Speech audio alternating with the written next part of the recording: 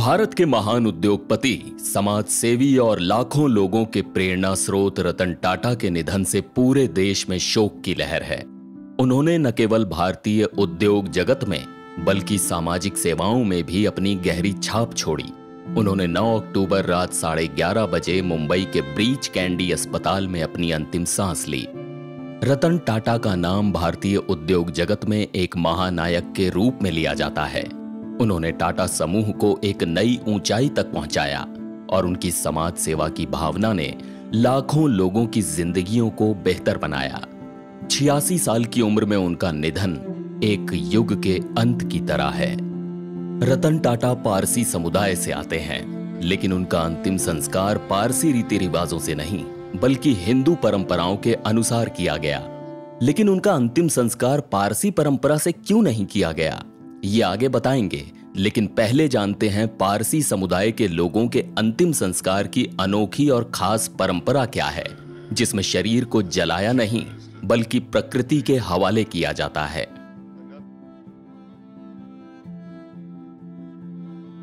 पारसी धर्म, यानी जोरोएस्ट्रिनिज्म में अंतिम संस्कार को दोख में नाशिनी कहा जाता है। ये पारसी धर्म के जरथुस्त्र की शिक्षाओं पर आधारित है। जो प्रकृति और उसके सभी तत्वों, अग्नि, जल, धरती को पवित्र मानते हैं। इसलिए शव को जलाया या दफनाया नहीं जाता।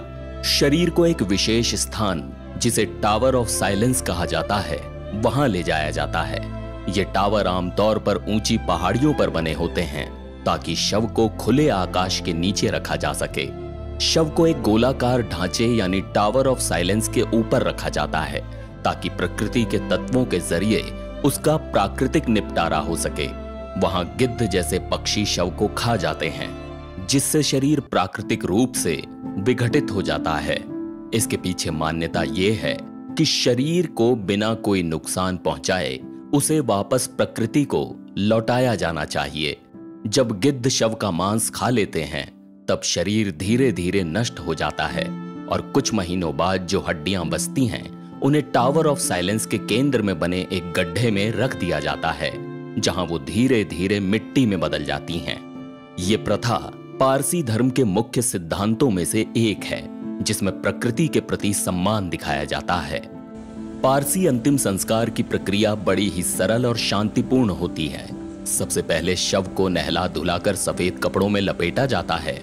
इसके बाद शव को एक धार्मिक जुलूस के साथ टावर ऑफ़ साइलेंस में ले जाया जाता है। जहाँ पारंपरिक प्रार्थनाएँ की जाती हैं, यहाँ एक बात ध्यान देने वाली है कि पारसी समुदाय में मौत को जीवन का अंत नहीं माना जाता, बल्कि इसे प्रकृति में वापस लौटने की प्रक्रिया के रूप में देखा जाता है।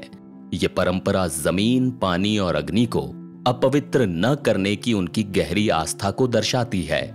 इसे प्राकृतिक देहदान के रूप में भी समझा जा सकता है। जहाँ शरीर को पक्षियों और प्राकृतिक प्रक्रियाओं के हवाले किया जाता है। पारसी समुदाय की मान्यताओं के अनुसार, इससे न केवल प्रकृति सुरक्षित रहती है, बल्कि ये आत्मा की शांति और पवित्रता को बनाए रखने में भी सहायक होता है।